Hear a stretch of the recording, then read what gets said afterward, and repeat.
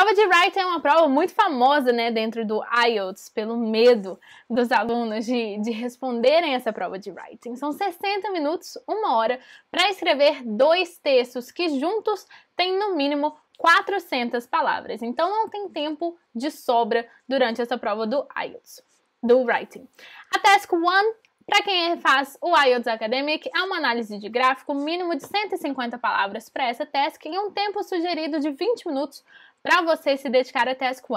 Já pro General é uma carta, mesma quantidade de palavras, mesmo tempo sugerido. Já Task 2 é um essay, um artigo, e aí o tempo sugerido são 40 minutos e no mínimo 250 palavras para escrever sobre este writing. Ok?